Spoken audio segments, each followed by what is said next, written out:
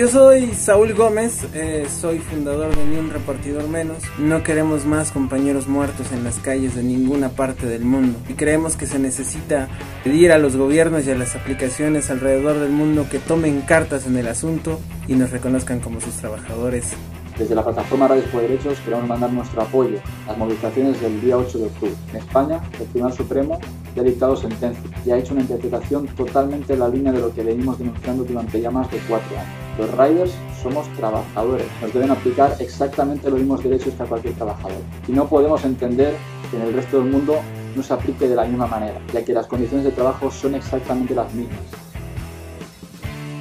sono Lorenzo, faccio parte di Riders Union Bologna che il prossimo 8 ottobre aderirà alla lo sciopero mondiale dei riders e dei gig workers. Militiamo in solidarietà con le lotte di questi lavoratori e lavoratrici nei propri rispettivi paesi, ma anche per protestare e combattere contro l'accordo pirata che è stato siglato nelle ultime settimane da parte delle aziende che ci condanna nuovamente in un limbo fatto di precarietà e cottimo contro cui lotteremo fino alla fine per abrogarlo.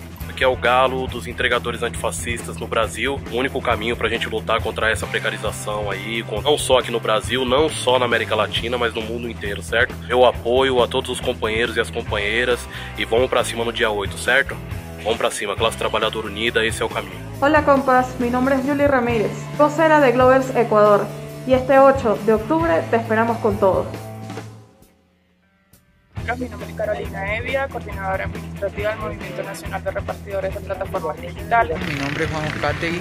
Y les habla Sergio Solano. Mi nombre es Leandro Ochoa. Desde Colombia invitamos a trabajadores de plataformas a abocar este jueves 8 de octubre el paro mundial de repartidores. Los esperamos, contamos contigo. En la unión está la fuerza. Hola, mi nombre es Sergio Hernández, le hablo de acá de Marea, de Mancomunidad de Repartidores de PP de Chile. Quiero enviarle una invitación para que se sumen este 8 de octubre al paro por la dignidad del trabajador, por la dignidad del repartidor, al paro por el respeto a nuestros derechos laborales. Mi nombre es Micaela, soy repartidora de Argentina, parte de Dar Vuelta a Todo y la Liga Internacional Socialista. Este jueves 8 de octubre, las mujeres repartidoras también paramos contra la doble opresión por ser mujeres y trabajadoras contra el acoso callejero, por licencias por maternidad, por el aumento de las tarifas contra el sistema de puntos y ranking. Mi nombre es Isabel Ramos, conductora de Uber y de miembro de la Alianza de Trabajadores Móviles. Gracias a todos mis compañeros repartidores a nivel mundial por unirse a esta lucha el día 8 de octubre. Voten no a la proposición 22.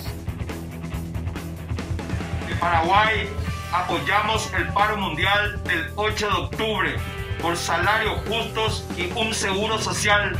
Arriba el paro del 8 de octubre. Ricardo Mareco de la Agrupación Nacional Dar Vuelta a Todo y militante de la Liga Internacional Socialista. Los repartidores de distintos países de cuatro continentes nos estamos organizando. Vamos a hacer concentraciones, caravanas movilizaciones a los ministerios del trabajo y las oficinas de las aplicaciones a exigir se cumplan todas nuestras demandas. No nos creemos ni socios, ni jefes, ni autónomos. Somos trabajadores y exigimos ser reconocidos como tal. Invito a que todos los repartidores del mundo se organicen, se movilicen en sus países, en sus ciudades, en sus barrios este 8 de octubre.